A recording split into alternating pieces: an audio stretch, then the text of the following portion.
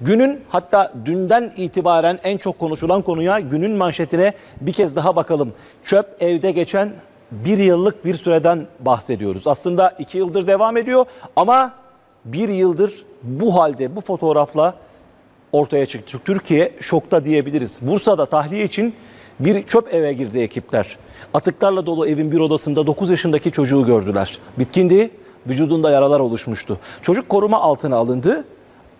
Teyzesi ve annesi birbirini suçluyor. Çocuğun annesi istemediği için yanına aldığını söylüyor teyze. E, Dün ilk olarak ona teslim edilmişti.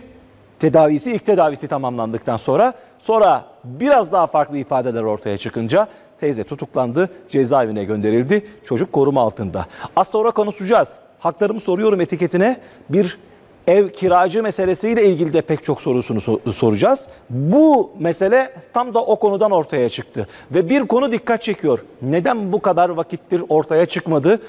Bir yıldır o çocuk orada nasıl kaldı sorusu. Bakın o evin içerisindeki pek çok fotoğrafta, pek çok yazıdan bir tanesi özellikle dikkat çekiyor ve bu soruya da bir yanıt niteliğinde. İçeri girmeye kalkmayın, haneye tecavüzden mahkemeye veririm. Haberi izleyelim. Bu konu nasıl ortaya çıktı ve nasıl çözülecek? Hukuken bir yaptırımı var mı? Bunu da soracağız. Bir yıl boyunca odaya kilitlendi. Hastaneye kaldırıldığında 17 kiloydu. İki yıl sonra ilk kez gördüğü annesinden kuru yemiş ve çikolata istedi. Biri, içeride biri var. İçeride çocuk. İçeride biri var. Bursa Nilüfer'de iki yıldır kirası ödenmeyen evi tahliye etmek için binaya giden ekipler çöp yığınlarıyla karşılaştı. Evin kilitli bir odasında ise atıkların içinde yatan 9 yaşında bir çocuk baygın halde bulundu. O kapıyı açtığımızda direkt karşı karşıya geldik böyle şok olduk, tuhaf olduk. Yani biz çocuğa seni kurtarmaya geldiğimizi söyledik zaten. Yabancılarla konuşmak istemiyorum deyince biz daha da böyle bir şok olduk.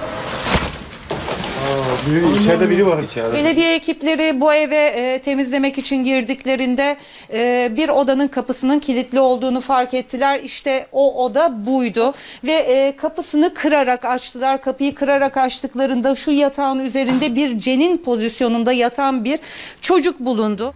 44 yaşındaki Kamuran Pınar A anneannesiyle kalan yeğeni Cem'i annesi istemediği için yanına aldığını söyledi. Yemek yemiyor, temizliği kabul etmiyordu. Son 4 ayda bu hale geldi. Ben de etrafa zarar vermesin ve kaçmasın diye kapıyı kilitledim dedi. Gözaltına alınan kadın ifadesinde çocuğun kendisiyle mutlu olduğunu, annesinin yanına dönmemek için kendisini kilitlediğini öne sürdü. Kamuran Pınar A işlemlerin ardından çıkarıldığı mahkemece çocuğa eziyet suçlamasıyla tutuklandı. Sadece akşamına girip çıkıyor kendisi. Elinde 2-3 poşet böyle. İnip çıkıyordu. Başka kimseyle muhatap olmaz. Annesi Yasemin A ise 19 aylıkken çocuğu anneannesine bıraktığını ve kardeşinin annelerinin cenazesinde çocuğu kaçırdığını öne sürdü. İki yıl önce kayıp başvurusunda bulunduğunu ancak çocuğuna ulaşamadığını anlattı. Vücudunda yaralar oluşan çocuk Bursa'daki hastanede tedavi edildikten sonra Antalya'da yaşayan annesi Yasemin A'ya teslim edildi. Ancak Aile ve Sosyal Hizmetler Bakanlığı harekete geçti ve çocuğu koruma altına aldı. Cem Akdeniz Üniversitesi Hastanesi'nde tedavi ediliyor. Genel durumu gayet iyi. Ee, konuştuk, gülüştük hatta. Çocuğun tabii bunları idrak etmesi çok da kolay değil biliyorsunuz. Ancak genel olarak baktığınız zaman bir gelişme geriliği mevcut. Bunu zaten hepiniz görür görmez anlayabiliyorsunuz. Ee, bir yıl içinde yavaş yavaş toparlayacaklarmış gibi görünüyor. 17 kilo, 138 santim boyu da.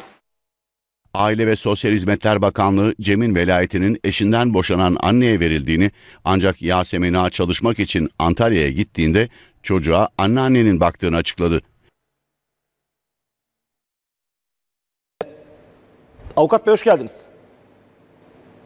Hoş bulduk Osman Bey. İyi yayınlar diliyorum. Dilerseniz teşekkür ediyorum. İzleyicimizin sorularına geçmeden şu Türkiye'nin konuştuğu olaya bir değinelim istiyoruz. Çünkü o kapıdaki fotoğraf ve yazı son derece dikkat çekici. Sizinle çok kez bu konuyla ilgili yayın yaptık. Arkadaşlarımdan da rica edeceğim. O fotoğrafı bir kez daha ekrana getirebilirsek. Ee, özellikle bu yazıdan bahsediyoruz. O 9 yaşındaki çocuk bir yıl boyunca bir çöp evde nasıl kalabildi, nasıl bulunamadı ya da nasıl o şekilde ifade edildi diye. Şimdi bu kokuyla ilgili pek çok sıkıntı olduğu apartman tarafından, apartman e, sakinleri tarafından ifade ediliyor. Ama meselenin asıl çıkış noktası şu, kirasını ödemediği için Ev sahibi dava açıyor ve kapıdaki not içeri girmeye kalkmayın haneye tecavüzden mahkemeye veririm ifadesi ve bir aslında tehdit içeren de bir nokta bu.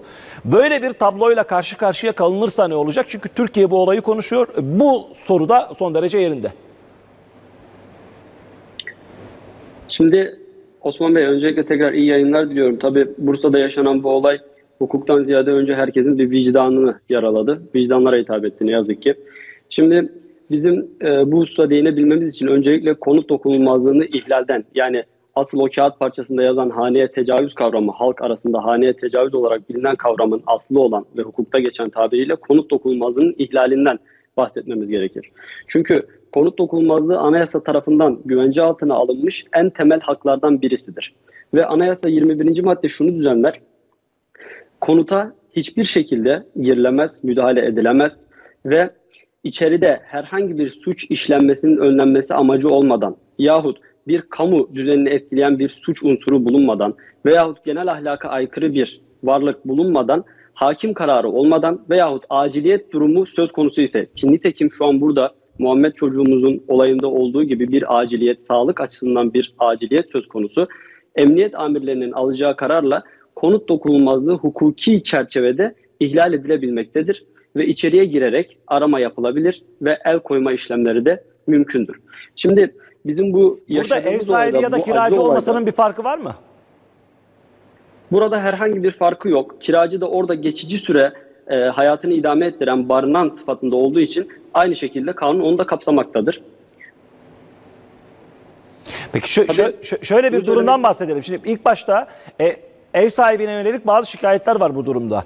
Evin evden kötü koku geldiğine yönelik ya da işte bir çöp eve dönüştüğüne yönelik. Böyle bir durum olduğunda, örneğin kiracı olduğunda ev sahibinin şu örnekte gördüğümüz gibi bir sıkıntısı oluyor. Yani sadece bir yaşam hakkından bahsetmiyoruz içeride. E, diğer tarafa, çevreye de verilen zarardan bahsediyoruz e, bir tarafıyla da. Böyle bir tabloyla karşı karşıya kalındığında, diyelim ki içerideki de ev sahibi, apartman ya da komşular böyle bir karar alıp çıkarabilirler mi ya da içeri girebilirler mi bu yazıya rağmen?